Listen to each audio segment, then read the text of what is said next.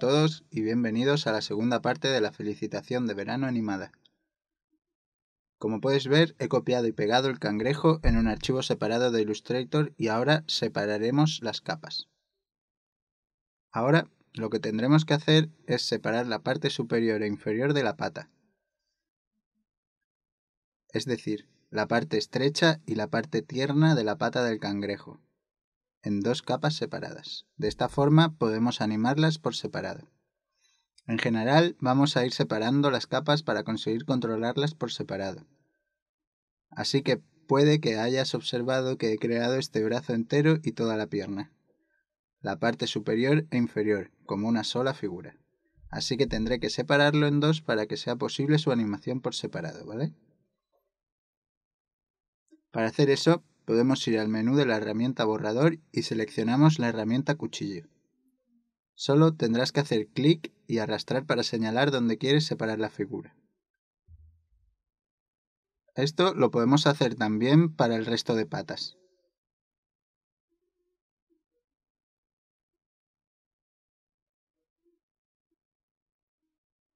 Ahora lo que tenemos que hacer es combinar este círculo y el antebrazo en una sola figura.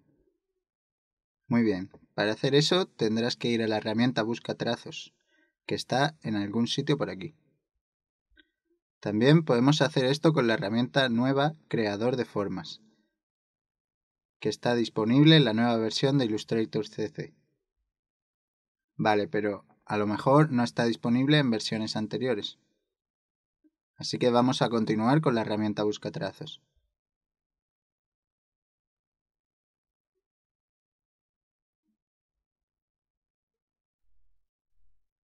Debemos tener estas dos figuras separadas en dos capas diferentes. Así podremos animarlas por separado. Además, asegúrate de que el pequeño círculo acompaña a la parte superior de la pierna, que está más cerca, de manera que se mueva con ella.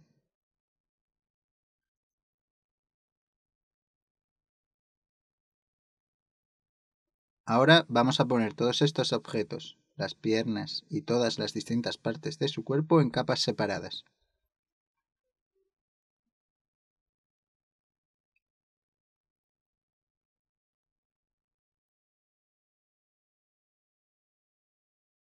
Para los ojos tendremos que combinar este soporte que está sosteniendo el ojo y la cuenca juntos. Puedes dejar separadas la parte blanca del ojo y la pupila.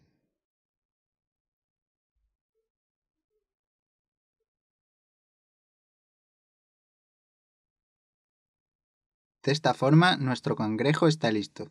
Todo está en las capas que queremos animar, que son el cuerpo, las patas. Todas las patas separadas en dos partes, para que así podamos tener un eje en las rodillas y doblarlas. Sus brazos y el cuerpo, los antebrazos y la felicitación en una capa separada. Vale, entonces vamos a guardar este archivo y pasamos a la animación.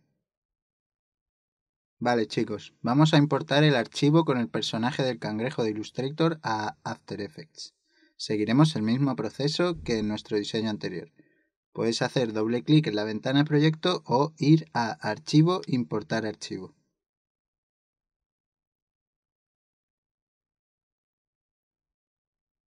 Habíamos creado un archivo separado para el cangrejo, así que simplemente vamos a importarlo.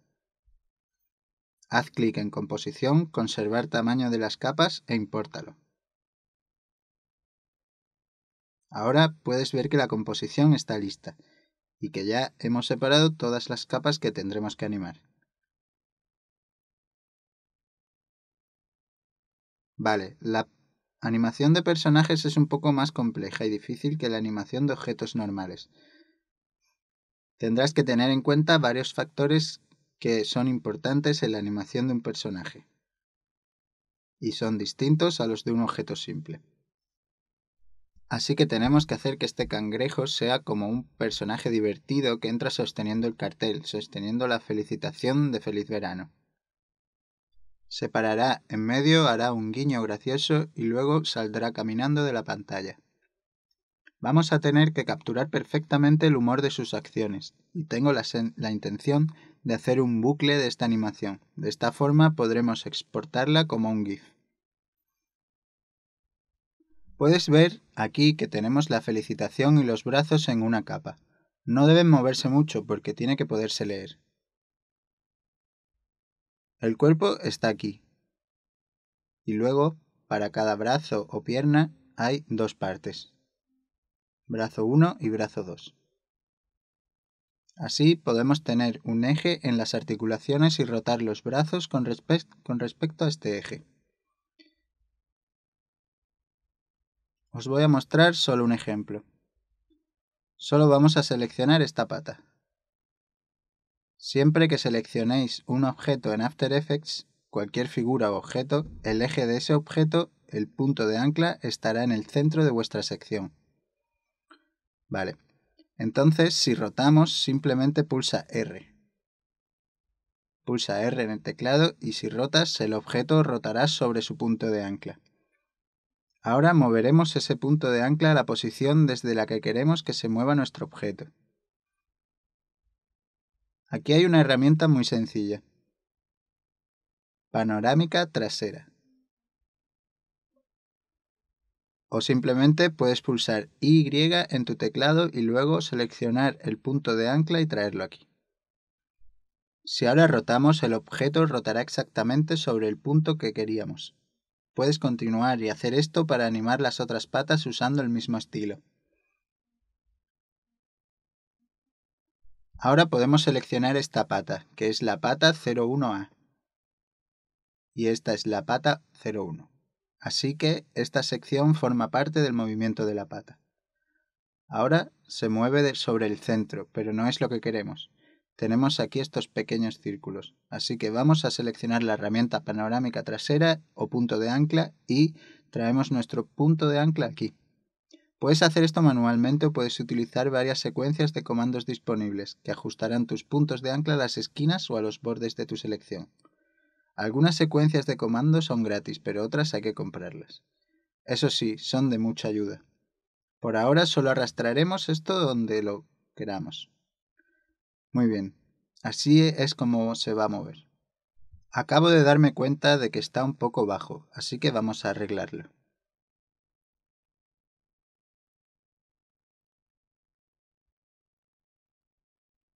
Vale, así está mucho mejor. Ahora, cuando movemos la primera parte de nuestra pata, la parte inferior se queda aquí.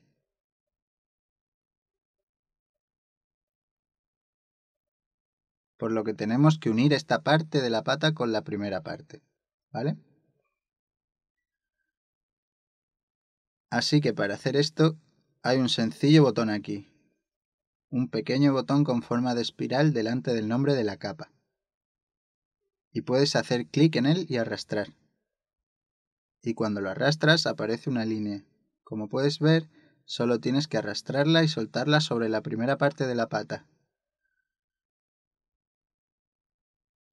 Así, esta parte de la pata, la parte inferior, está ahora vinculada con la parte superior de la misma.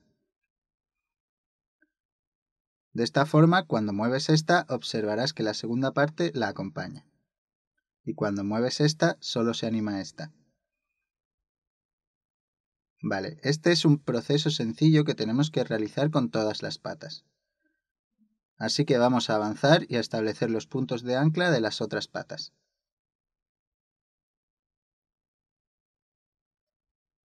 Vale, para los ojos no hay mucha animación, solo irá parpadeando y para eso tenemos el blanco de los ojos separados de la capa de la pupila. Para que funcione el parpadeo tenemos que modificar la escala del blanco de los ojos. Pulsa S en el teclado. Deselecciona Limitar proporciones y cambia la escala. Funciona pero la pupila se queda fuera del blanco de los ojos. Hay un pequeño truco para hacer esto. Simplemente duplica la capa del blanco de los ojos pulsando Control D en el teclado y obtendrás la capa ojo de blanco 02.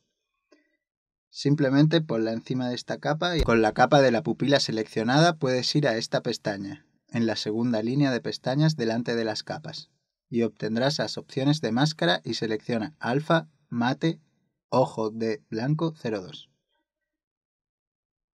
Ahora lo que ocurre es que la capa de la pupila se enmascara con la capa ojo de blanco 02. Así que si mueves esto, puedes ver que se ha creado una máscara para que funcione la pupila. Así que ahora tenemos dos blancos de ojos. Y para hacer que esto funcione simplemente tendrás que vincular el segundo con el primero.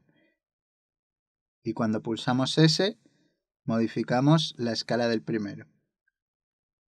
Y el parpadeo funcionará perfectamente. Muy bien, este es un truco muy sencillo y simplemente vamos a hacer lo mismo para su ojo izquierdo.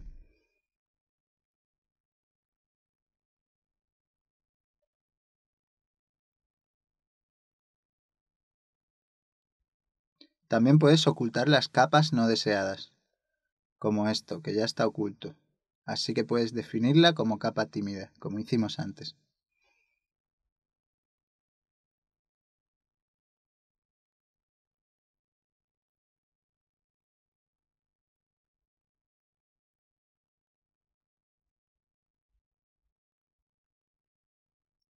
Vale, creo que nuestro rig está ahora completo. Ha sido muy fácil, ¿verdad?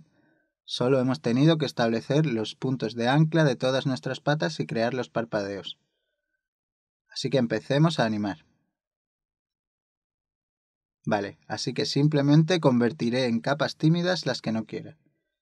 Y estas capas verdes son las capas para las patas. Así voy a ordenarlas. Básicamente voy a animar este personaje andando en el sitio, como un bucle, como un ciclo y luego animaremos su transición, es decir, su movimiento desde la derecha de la pantalla hacia la izquierda. Para que nuestra animación se vea convincente necesitamos saber cómo andan los cangrejos realmente. Así que busca algunas referencias. Ve algunos vídeos, si puedes, para estudiar cómo anda un cangrejo. No tiene que ser perfectamente igual que en la vida real, ya que esto es un dibujo animado, por lo que podemos tomarnos nuestra libertad para hacerlo y experimentar con la animación. Vale, empecemos. Os voy a mostrar la forma sencilla de establecer cualquier objeto como clave. Pulsa R en el teclado para que aparezcan los valores de rotación de la pata. Tendremos que hacer posturas para una pata. Por lo que digamos que esta es la primera postura.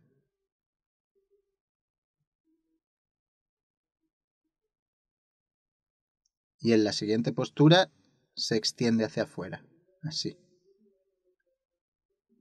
Puedes ver que hay un pequeño icono con un reloj delante de los nombres y las propiedades, y podemos hacer clic en él para establecer una clave, y pulsa más o menos en el teclado para hacer o quitar zoom en la línea temporal. Luego, tras algunos fotogramas, digamos 3, 4 fotogramas, puedes establecer otra clave donde volverá a su posición original.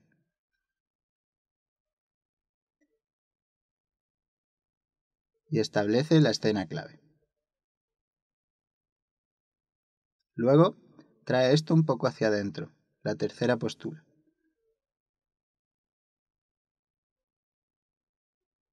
Esta no es la última, no es la animación final, pero considera esto como un primer paso. Cuando voy a la línea de tiempo y pulso espacio o cero, puedes ver que esta animación se mueve. Y puedes hacer esto para todas las patas y hacer que funcionen juntas de forma cohesionada para que parezca que están dando. Vale, esto es más fácil decirlo que hacerlo, pero lo conseguiremos.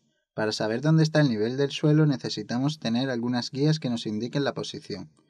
Así que simplemente pulsa Control R en el teclado y aparecerán las guías, como en Illustrator. Y arrastra hacia abajo. Podemos quitar nuestra animación, simplemente elimina las claves. Y antes de pasar a la animación podemos establecer los niveles del suelo. Pon más guías si quieres y podrás ver dónde están las líneas del suelo.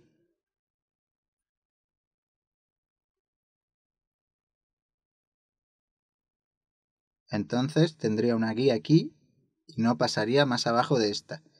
evitando que se meta en la tierra o flote por encima, por lo que esta será nuestra referencia para el contacto con el suelo.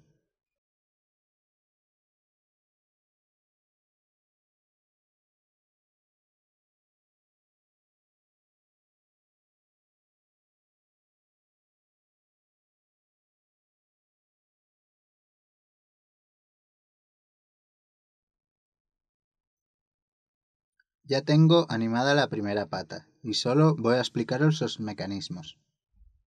Tenemos estos dos controles, uno donde la pata se une con el cuerpo y el segundo es la rodilla. Esto es muy sencillo. He creado su primera postura y he establecido ambas capas como claves.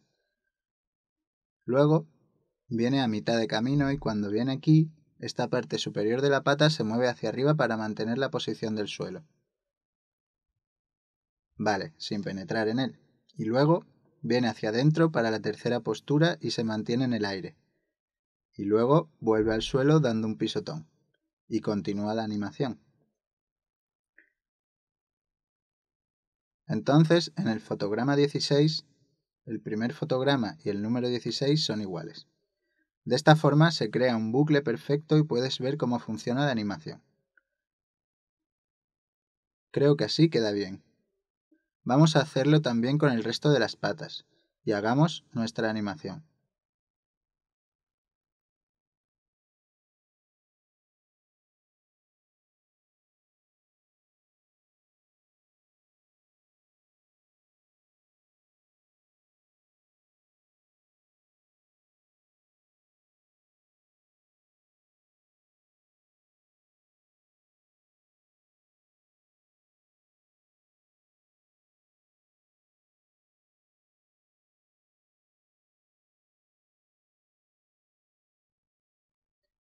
Vale chicos, ya hemos animado nuestro cangrejo estableciendo las claves en todas las patas. Simplemente ocultaré todas las guías y comprobaré la animación.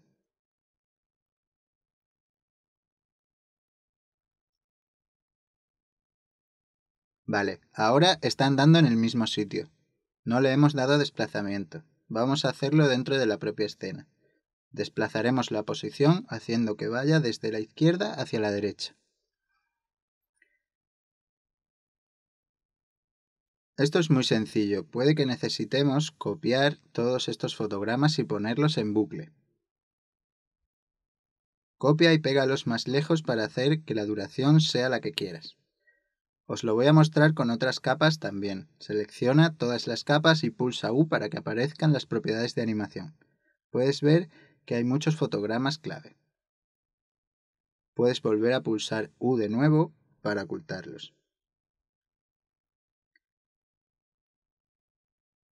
Así que como dije, así que como dije, puede que necesitemos copiar esta animación y pegarla más lejos en la línea de tiempo para hacer que la duración del paseo sea mayor y hacer que quede en la escena como queramos. También vamos a animar los parpadeos justo dentro de la escena en sí, porque nos haremos una mejor idea de dónde exactamente se va a parar para parpadear. parpadear. Muy bien, aquí tenemos la composición que habíamos animado anteriormente.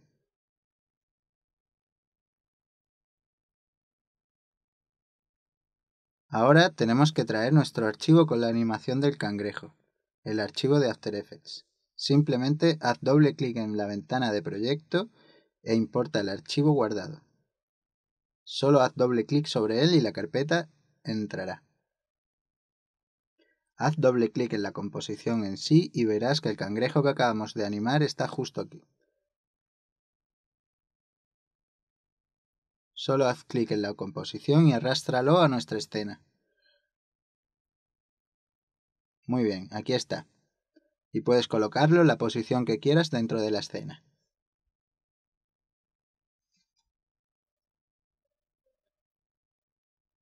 Pon esta capa detrás de la capa con la vegetación. De esta forma entrará y saldrá tras las plantas pero sería de verdadera ayuda si convirtiésemos la capa en 3D. Así el paralaje funcionará mejor para el cangrejo también. Así que simplemente hago clic en este pequeño cubo de aquí y convierto la capa en 3D. Y ahora podemos movernos en un espacio en 3D. Simplemente pulsa C y entrarás en la herramienta cámara unificada. Vale, he vuelto a repetir el mismo error que antes. Tendríamos que ir dentro de la escena y convertir también las subcapas en 3D dentro de la composición. Ahora si volvemos a la escena, justo aquí, es visible ahora al contrario que anteriormente. Así que ahora solo tenemos que moverlo detrás de las plantas, en el eje Z de profundidad. Vamos a cambiar ese valor y vamos a moverlo un poco hacia atrás.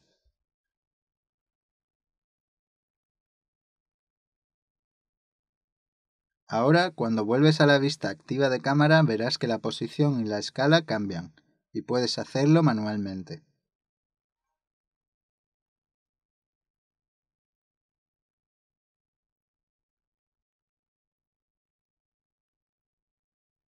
También necesitaremos cambiar la escala de nuestro cangrejo, por lo que vamos a hacerlo. Creo que así es suficientemente grande. Muy bien, y recolócalo donde quieras. Ahora el camino está ahí, pero solo hemos animado un bucle del paseo, por lo que llegado a un punto el cangrejo para de andar. Vale, entonces tenemos que ir dentro de esta composición y luego resaltar todas las capas y pulsar U en el teclado.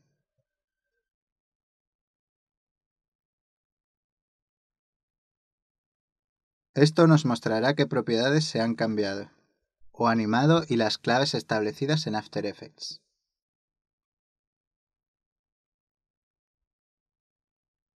Así que podemos volver a la composición y ver más o menos cuánto tiempo tardará el cangrejo en aparecer en el fotograma, parar y salir andando.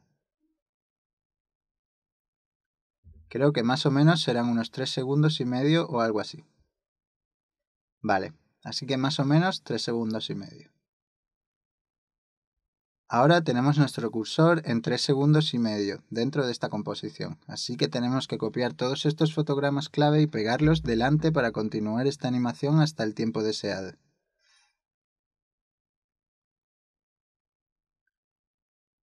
Entonces puedes ver que también he copiado un poco de tiempo extra.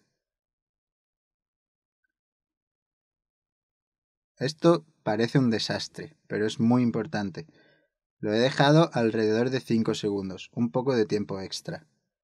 Si lo necesitamos, solo tienes que pulsar Control C y luego llevar el cursor al último fotograma y pulsar Control V para copiarlo más lejos. De acuerdo, ahora he seleccionado todos los fotogramas clave y hago clic derecho sobre ellos. Voy a Fotograma clave, Interpolación y selecciono Curva automática. Lo que hace esto es suavizar las curvas de tu animación. Le da algo de suavidad por lo que tus fotogramas clave no estarán tan a tirones.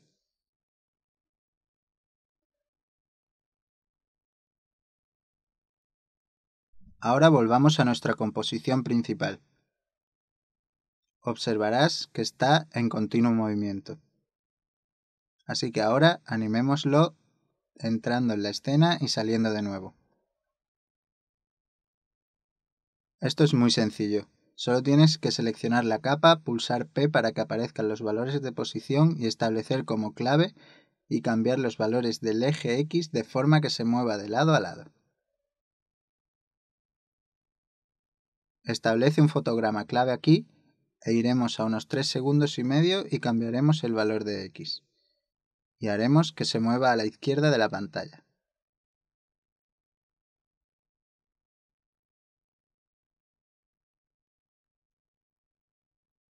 Muy bien. Vamos a hacer que salga de la escena.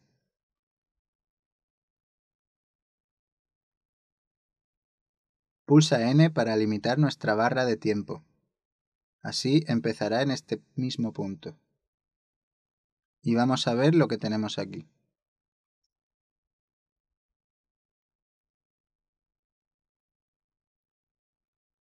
Vale, Está gracioso, pero creo que es demasiado rápido porque las patas se deslizan, así que necesitaremos un poco más de tiempo de acuerdo con esta animación. Vamos a traer esta clave alrededor de 5 segundos, por lo que estamos estirando el tiempo hasta 5 segundos. Y ahora vemos cómo queda. Creo que está mucho mejor.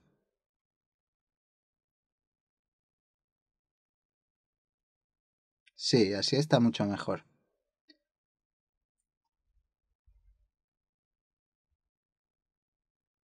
Creo que deberíamos aumentar un poco más su escala para que sea más visible.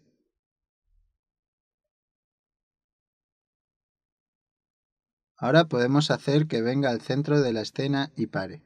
Luego pestañe y luego se vaya. Pero para hacer esto tenemos que ir dentro de la composición y eliminar algunas animaciones clave de la animación de sus patas, ya que sus patas no están en continuo movimiento cuando está parado. Así que hagámoslo.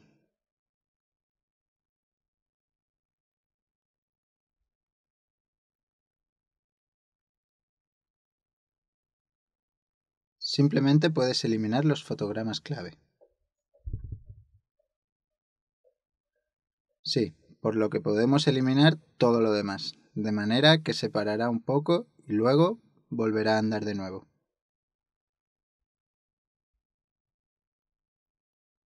Así, en esta pequeña ventana que tenemos aquí, esta pequeña pausa, podremos hacer que parpadee.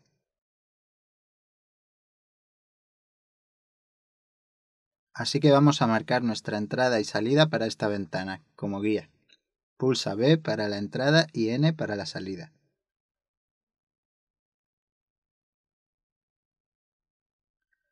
Ahora sabemos qué tenemos que hacer para que parpadee aquí, por lo que vamos a la capa del blanco de los ojos y pulsamos S en el teclado para que aparezcan los valores de escala. Deselecciona Limitar proporciones.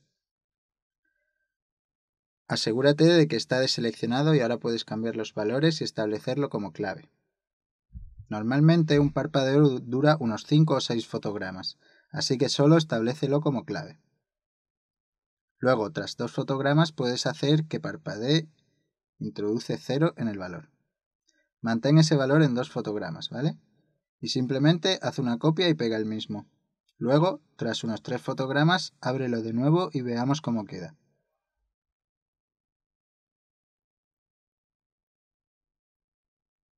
Creo que está bien, pero podemos reducir el ritmo un poco.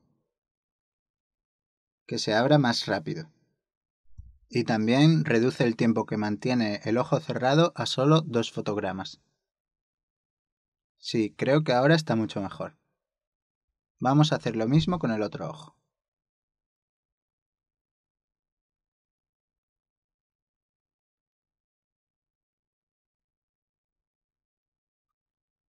y veamos cómo queda la escena.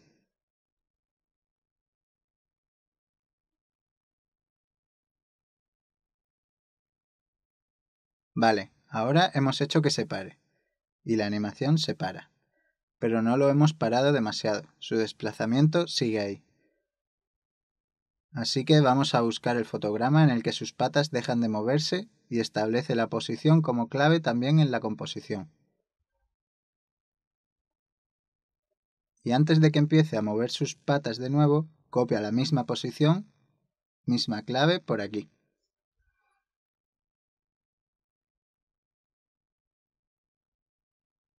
Así que si observas, tenemos aquí un pequeño caos. Aún se está deslizando porque hay un exceso en las curvas de la animación, por lo que simplemente selecciona los fotogramas clave, clic derecho sobre ellos, ve a interpolación de fotogramas clave y selecciona curva automática. Esto aplanará las curvas y eliminará sus excesos. Así que ahora veamos cómo queda nuestra escena. Puedes pulsar 0 y observa el renderizado.